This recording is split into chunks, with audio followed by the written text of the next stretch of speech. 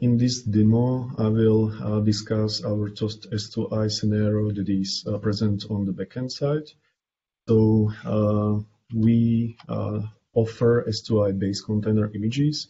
Uh, you can find them in our organization in S2I Thoth repository.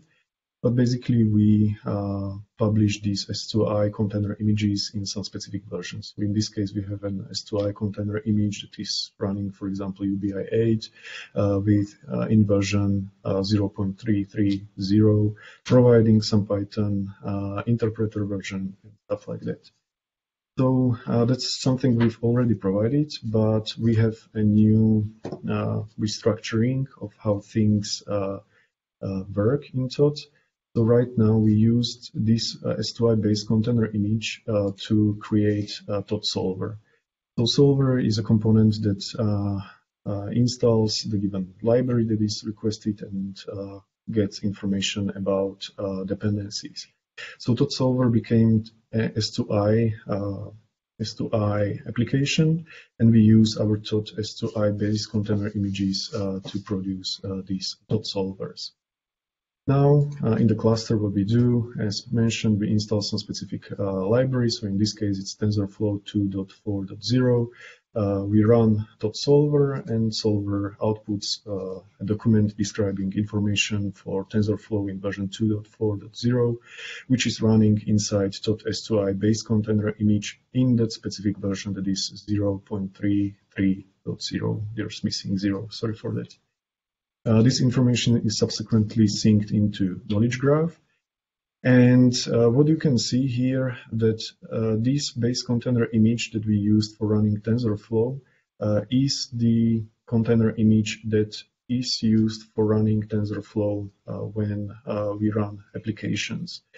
So what we do also, we can use dependency monkey that uses the base container image in that specific version that is offered uh, uh, by Thoth team, installs TensorFlow in that specific version, uh, and uh, resolves software stack uh, specifically uh, based on data aggregated from solvers.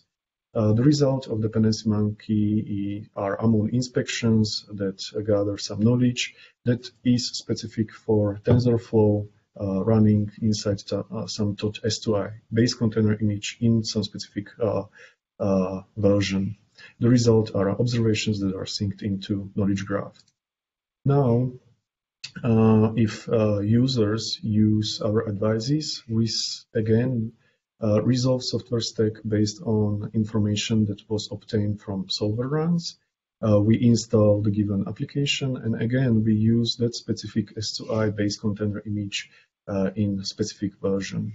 Uh, and we also can use uh, observations that were spotted on our Amun, which executes the application, the TensorFlow application, and gives us knowledge about performance and stuff like that.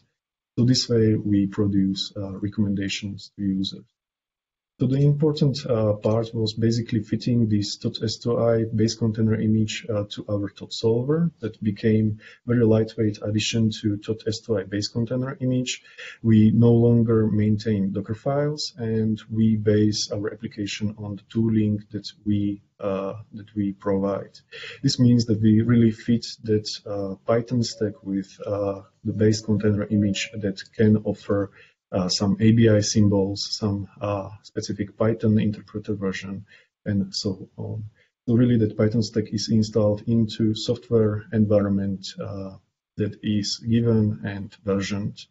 Uh, this uh, allows us uh, to create our, an intern will work soon on a tool that can create on demand these software environments. So ideally we should produce S2I uh, Uh, base container images uh, that can be plugged into this uh, workflow.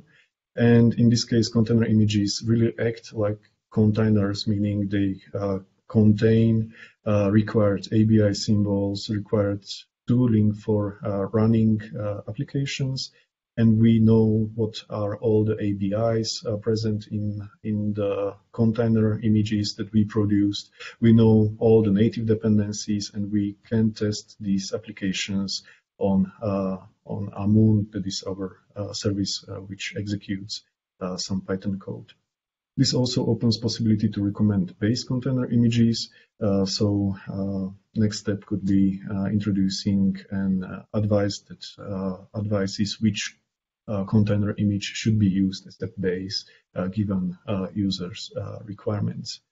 Uh, there's already pull requests that expose these available to S2I on our user API endpoints, and uh, you can uh, just run these base container images and we know really how to fit uh, the Python application into software environment that uh, we offer as so, uh, .s2i uh, containers. Uh, that will be probably it.